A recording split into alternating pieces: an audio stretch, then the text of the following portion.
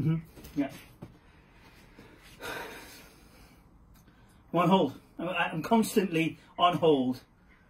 But a couple of things is I'm I'm out of the doghouse. Um, so my wife decided that she, she she wanted to go away for a little bit. You, you know, it's, it's getting difficult. So she said that she may not be back very very soon.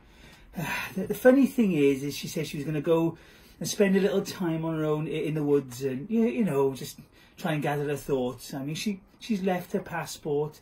I, mean, that's all I really know at the moment. Um, but the point is, is don't drink so much. It, it, it, it, there's no good for anybody and, you know, tensions get high and accidents will happen and, you know, it's, it's, it's just not worth it sometimes. I, you know, I'm actually on the phone to, to I'm on hold, I'm on to the council. Um, I'm not sure really if anyone can help me, but during this isolation, it's been difficult, and I'm I'm wondering, really, does anyone know if the landfill or the um, the rubbish tips are open at the moment? I've got this. Um, Got this this this old this old this old rug I'm trying to get.